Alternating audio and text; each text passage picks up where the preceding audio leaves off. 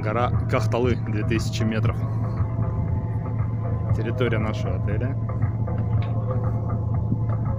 Плывем вон вокруг вон тех островов на кораблике.